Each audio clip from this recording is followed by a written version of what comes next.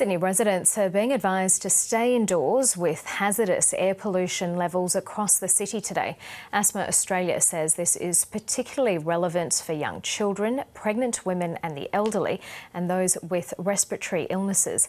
Its Chief Executive, Michele Goldman, joins me now. Thank you so much for coming in to speak to us. How bad was it in particular for asthmatics today? It would have been terrible today. So, we've seen pretty bad levels of air quality over the last couple of weeks. Certainly, the longest duration and highest intensity of smoke until today. Um, I think being outdoors today would have impacted anybody, let alone people with asthma and other respiratory illnesses. So, what would people have experienced today? Well, certainly everything from the milder end of scale sore eyes, sore throats, a little bit of nausea and headaches.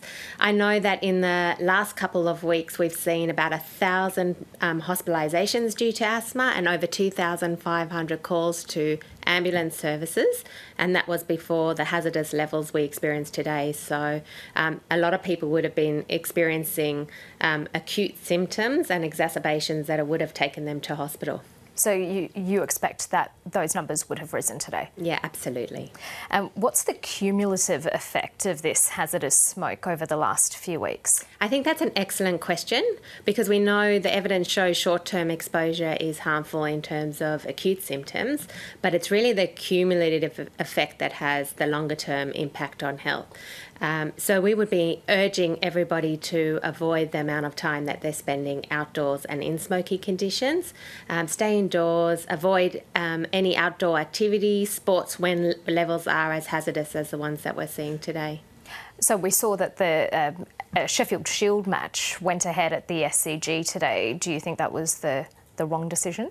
Well, we sort of we would have urged anyone in levels that are 11 times um, levels that are considered to be hazardous, uh, way worse than Beijing. Um, just walking outdoors is is you know causes symptoms. So we certainly would be urging everybody to cancel any outdoor activities.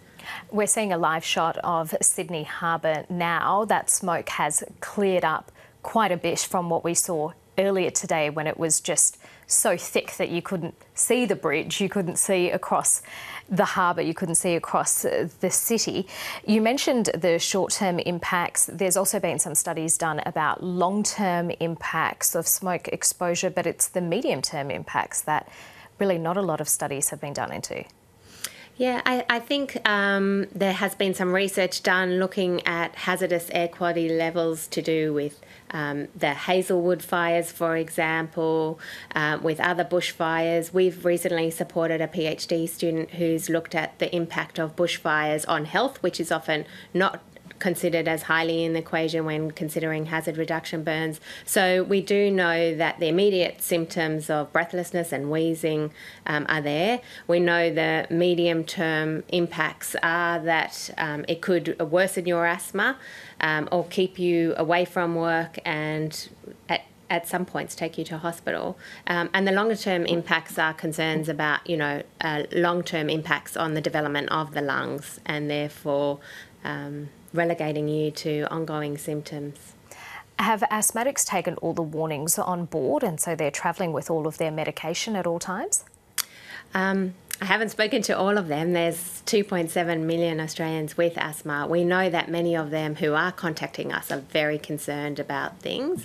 I think some of the concerns that they've articulated is not knowing um, how bad things are, and especially for young children, where it's very difficult to articulate when they're not feeling well. So, we would certainly encourage anyone with asthma or with children with asthma to be highly vigilant at this time. Um, if you're experiencing any symptoms, make sure you've got your reliever close on hand. And if you're breathless or wheezy, if you're unable to speak in full sentences, then that's quite significant and you should call um, triple zero. What works in terms of protection? That's a really good question too, and I know people are seeking advice what they should be doing.